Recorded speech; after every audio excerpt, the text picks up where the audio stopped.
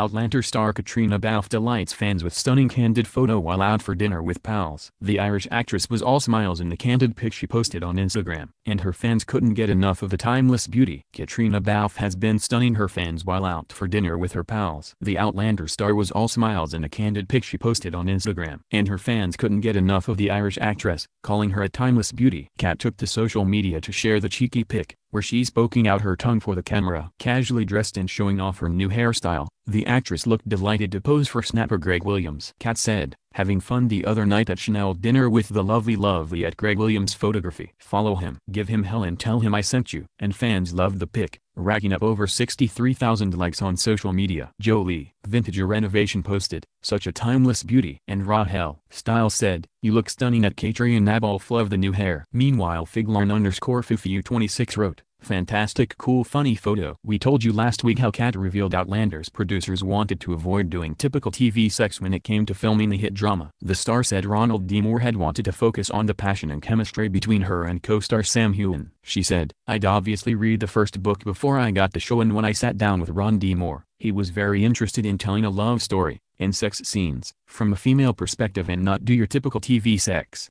so we try not to do any sexploitation in those scenes. But I do think they are an integral part of the story. Appearing on The Late Late Show last night, the Irish actress said she had loved her role on the show. Caitriona has been starring as time-traveling nurse Claire Randall in the hit teledrama since 2014 and is currently filming the fourth series.